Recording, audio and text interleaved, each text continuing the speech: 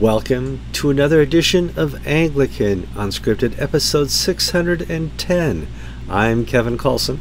I'm George Conger. Today's July 14th, 2020.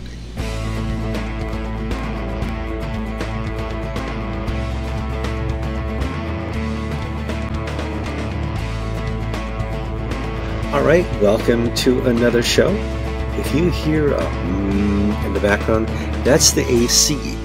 I have the AC running because I'm in a box, an ice box right now, in the middle of Arizona at Dead Horse Ranch Park, and I figured out how the horse died. Heat. I'm quite sure that horse just dropped dead because it was so hot. Uh, so our RV is stationed here for a couple days, and we're going to uh, mosey on up to Moab and probably stop uh, the Grand Canyon on the way.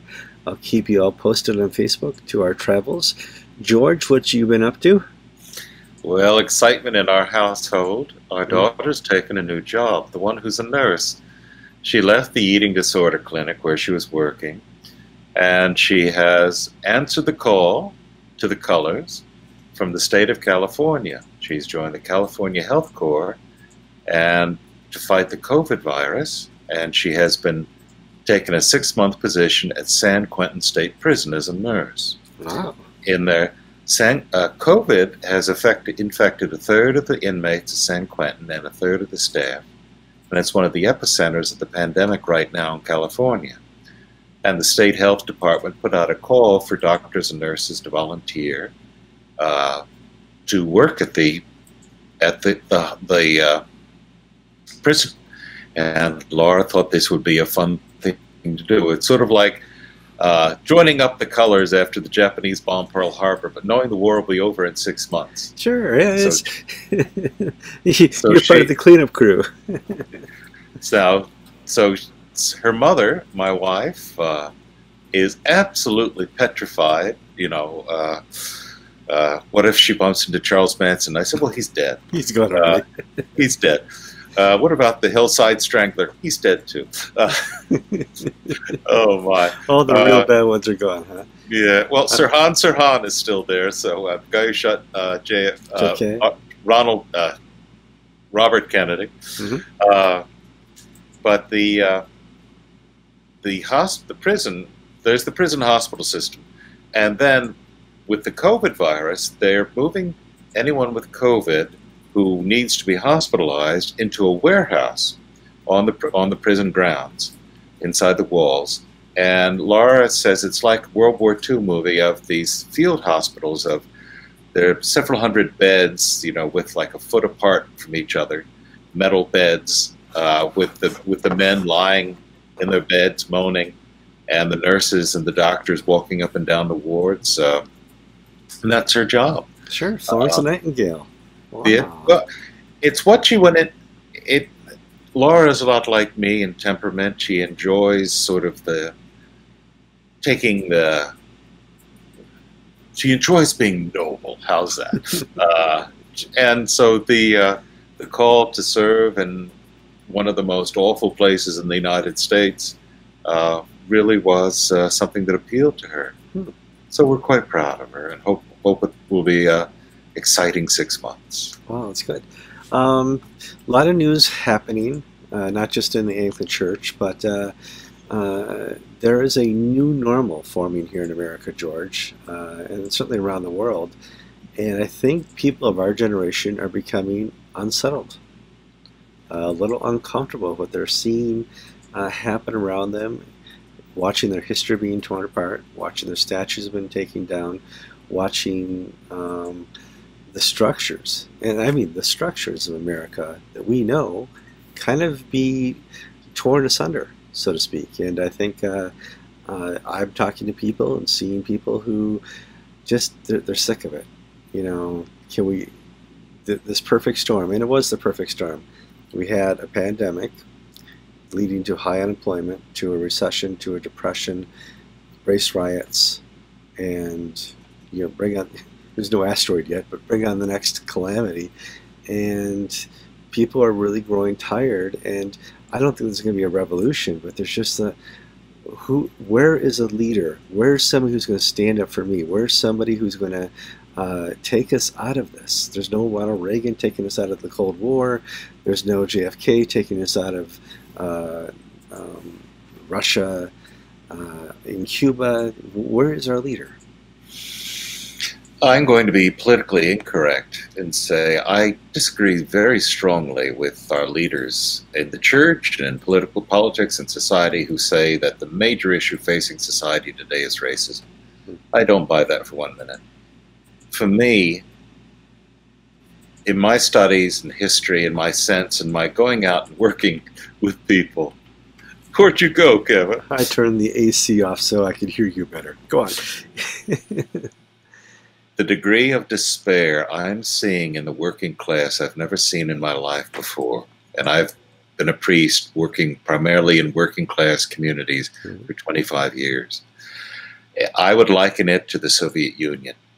Um, the death rate from despair, alcoholism, drug abuse, suicide, among whites who are not college educated is has skyrocketed in the past 10 years. They feel alienated because their country, in other words, the things that they took pride in being part of. Let's say they were working at General Motors or they're you know or being proud to be an American, proud to be a Redskins fan, proud to be Irish American, proud proud of the thing, you know, proud of having a family all proud of all these things, and our society has spent 25 years telling them that all the things that they're proud of are worthless. And now they're being told that they possess white privilege, and they've got to uh, make amends for all the ills. And the elites, meanwhile, they look at the elites in our country who are so disconnected from their day to day lives, they might as well be foreign occupiers. And I just have this very, I think we're going to, I think the only thing, I think people are waiting in the white working class, waiting to vote in November because they see this time as an extinction event mm. where they are being driven into extinction by a society and by a culture that is hostile to their interests. And I have to tell you, the Episcopal Church has led the charge. You remember Katharine Jefferts Schori Oh, I do love that woman. She just provided such great copy. We're smart people. We don't have big families. yeah, exactly.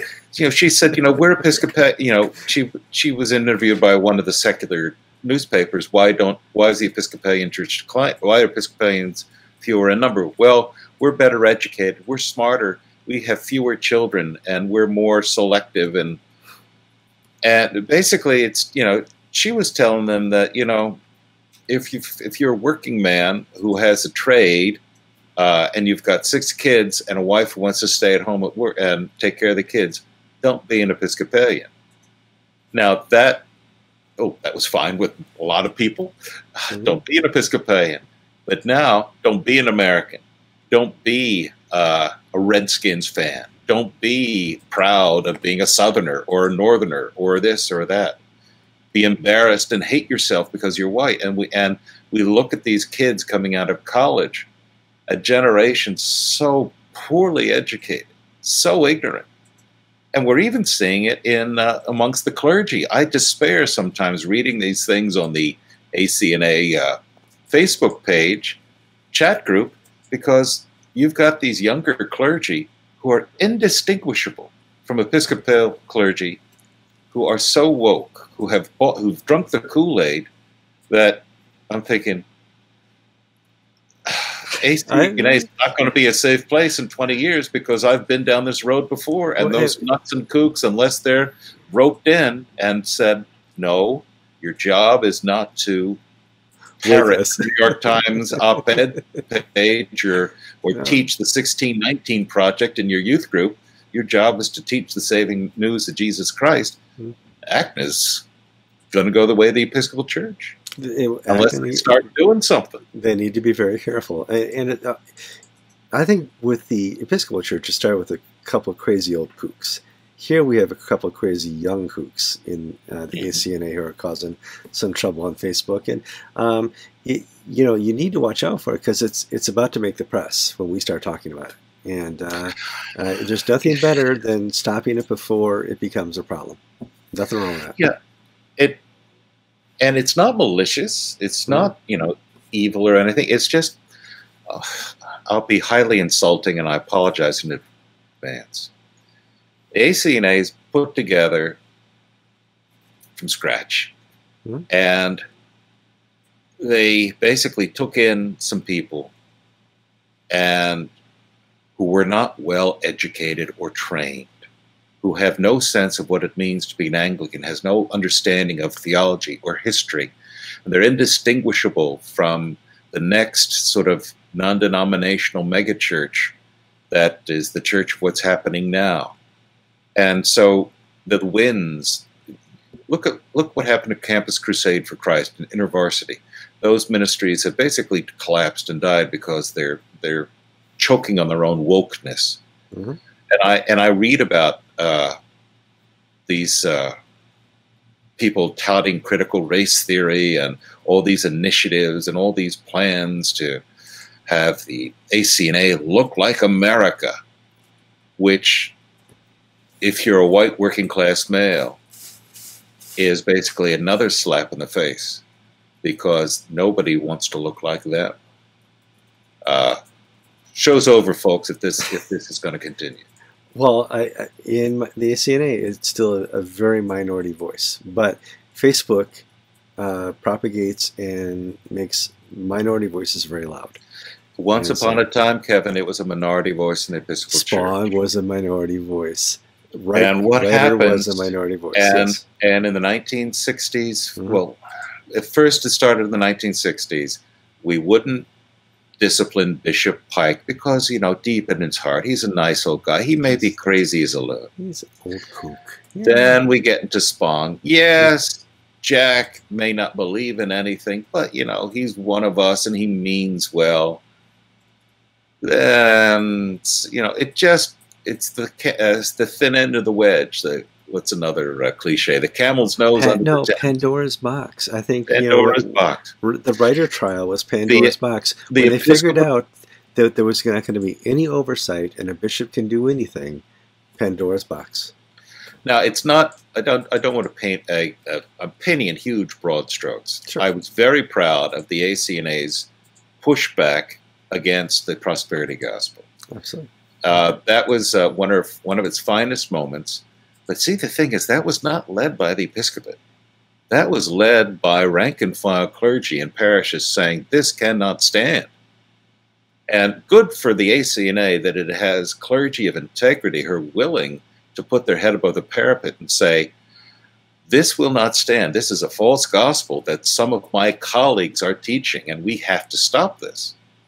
Problem was, it should have been the bishops who took that hit, and the bishops uh, the bishops should have been leading on that, and they didn't. And now we're seeing the bishops. They're not mouthing these platitudes, but they're going along to get along and allowing sort of the crazier elements within their rank and file to drive uh, the agenda for the church. Yeah. And right. So we shall be observant reporters and uh, see what happens. Uh, another crazy. please, hear, please hear me to say, and again, I said this is not the character of the ACNA. This is Hmm. not about all the ACNA. This is a very noisy but influential minority. Yeah. That unless somebody lays down the law and say what is the what is the teaching, the plain teaching and understanding of Jesus Christ, what is the teaching of the church in these matters, these people are going to twist it and turn it. And you're going to have what I've got to face today in an Episcopal church that is rotten to the core. So let's move on to some international news before my cat jumps on to. Get down. Come on. Don't jump on the. We are an RV in renovation right now, so on the dashboard is all the tools for all the stuff I've been trying to fix around here. Um, we had previously tried to record an episode of Anglican Scripted, but the cat knocked the phone connected to the internet off the table. Come on, get out of here. Go disconnecting us from our show. Yeah, so we're finally back up and running. Yeah, yes. Do you hear that snoring on my side? That's that my dog? that's one of the dogs underneath my desk right now, who is uh, being a rector's dog is a rather dusty, dull life for a dog, and so they sleep a good time, good part of the day. Uh, We have three cats in the RV. And I'll tell you the long story for how that happened in our next episode. Let's move on to some international news. Um, Lambeth is not 2020, it's not 2021. They're pushing out the date to 2022. Now, in my mind, as the first person to call the last Lambeth the last Lambeth, I'm happy by that, but I don't think there's any bad news here. I think it's smart to move it out because nobody knows what's going on, and to plan a Lambeth is not something you do in a month. And so, And and folks, I, I want to want to basically say Kevin is not engaging in hyperbole. He and I uh, were on the Albert Mohler, who's the, the Baptist guy. He has a radio show, and this Yeah. is this is uh, 2008, and we both said this is the last Lambeth. Uh, that's you know it's it's over, folks. You know, uh, send in the clowns. Uh, they did. They did. they did. No, but uh, Justin Welby announced that Lambeth is had been postponed to next year. Now it's going out to 2022. Mhm. The uh, which is probably upsetting a large number of Episcopal bishops who are waiting to retire and make Lambeth their swan song. It's a fun little way to end their time. Now they're going to hang on for another year, and so we'll see these statements. Oh well, with the COVID virus, I think I'm going to postpone my retirement another year. Yeah, we know why. They- Speaking, well, the money wasn't there Yeah. in in the quantity they needed because 2008 they basically did it on credit, and when it was over, the bills weren't paid, and the Church of England church commissioners had to uh, pay the pay the wet pay the debts. They don't want to do that again. well, they Yeah. also had, they also had the blue tent. Yes, the blue tent that they forgot to expense, and then the bill arrived in the mail, and it was left on Quarter million at one point. dollars. Yes, they went on maternity leave, and the bill was on their desk for nine months. Oh. So Lambeth has, you know, the money was not there, and part of it is it's supposed to be self-funding, and many of the uh, churches around the world, because of COVID, yeah, Rwanda, we did a little story where their income is down ninety percent because they live by donations that come in every Sunday, and no church for three months no income. Well, they weren't going anyway, but that is typical for many churches in the developing world. So the money's not there. And second, the uh, Justin Welby's push to uh, get the global South to basically maneuver GAFCON back into the tent, it didn't go very far. Uh, Welby was at the Mouneer Anis, concert, uh, Mouneer Anis installation as Archbishop of the province of Alexandria.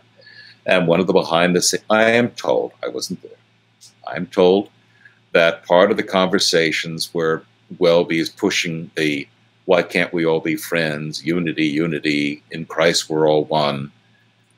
And he was sort of met with stony faces from the GAFCON people who were there and and the global south people didn't volunteer anything. They just welby's going on unity unity unity. And the global south is going my what time is it? Is dinner ready?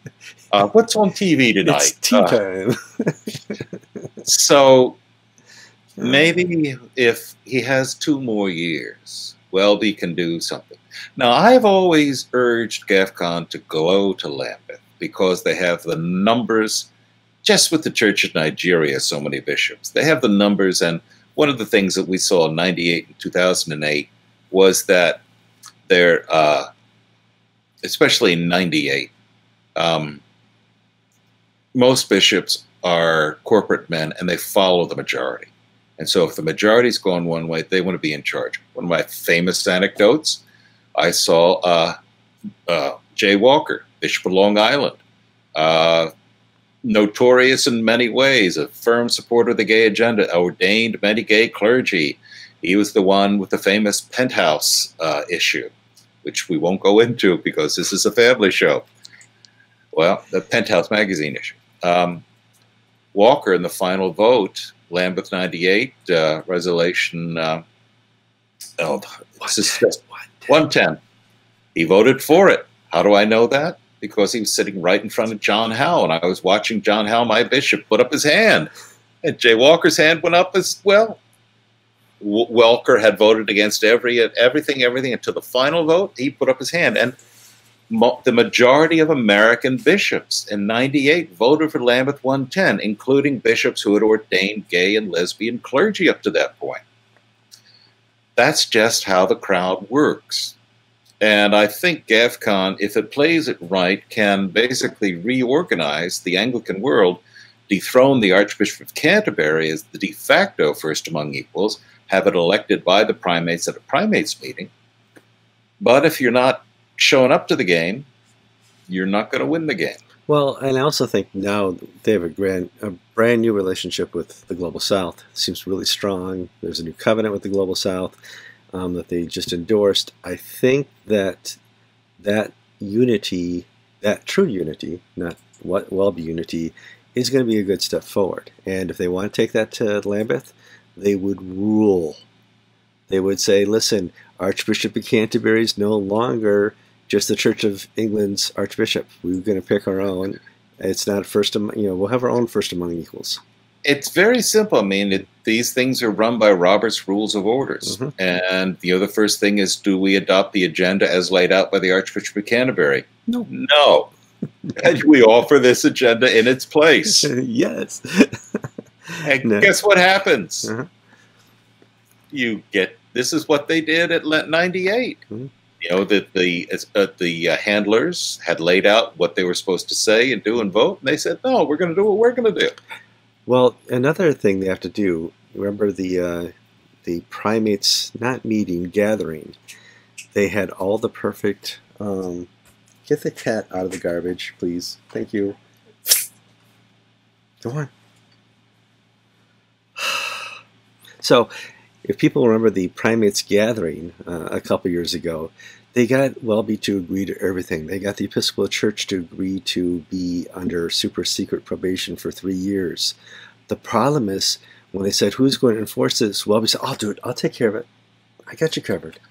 And you guys don't have to stay for the final press conference. Got you covered. Let me do all the talking. Yeah.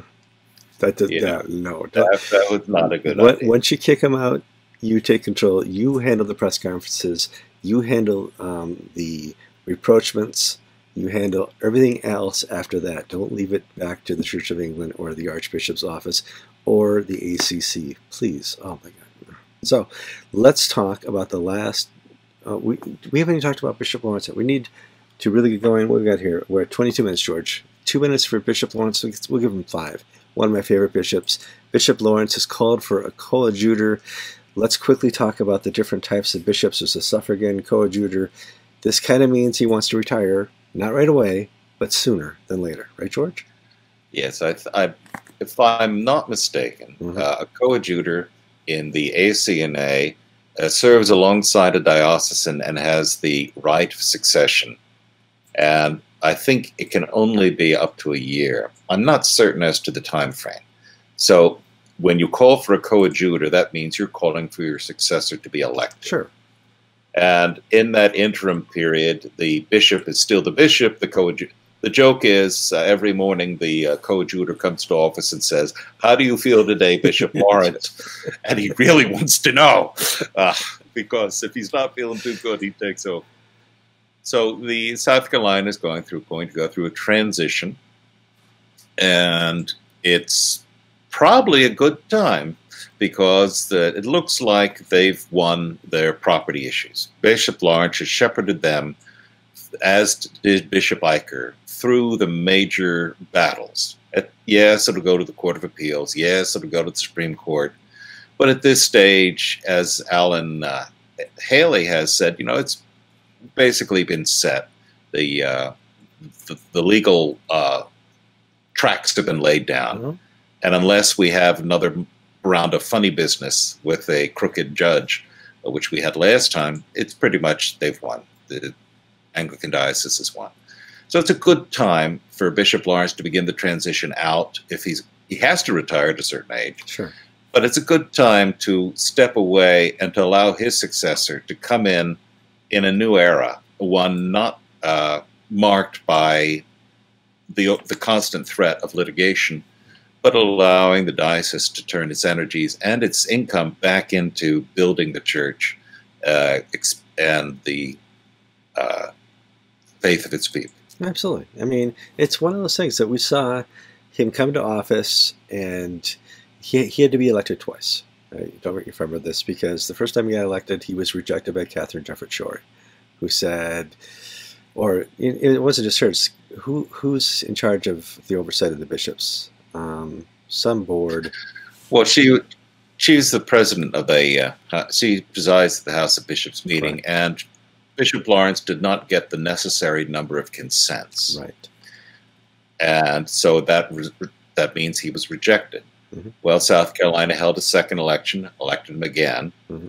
and he was basically asked, "Will you take the diocese out of the Episcopal Church?" And they put all sorts of constraints on him, and he said, "No, I have no intention or plans to do so." And actually, he didn't. He uh, did He, was he had to be. He had to be forced out. I mean, he went out kicking and screaming. I mean, it just. he, you know, Bishop Bishop Lawrence uh, was kicked out of the Episcopal Church. He did not violate the pledge that he made when he to the uh, Episcopal Church. The Episcopal Church violated its faith with him. Yeah. So it's been a it must be a very wearing position Bishop Lawrence has been in. Mm-hmm. Uh, certainly, it's not what he signed up for, but he's been faithful throughout the fight. Yeah, well, he, he fought the the fight well, and uh, maybe I can have an exit interview with him when he's when he's all done. Um, I wanted to talk about the Hong Kong Archbishop uh, story. Let's save that for Friday. Um, all right. It's the, the, the cabin here is heated up because I turned the AC off.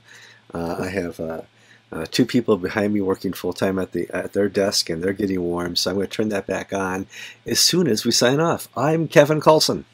I'm George Conger. You've been listening to episode 610. 600? Yeah, you're doing 610. Imagine that. Of Anglican Unscripted.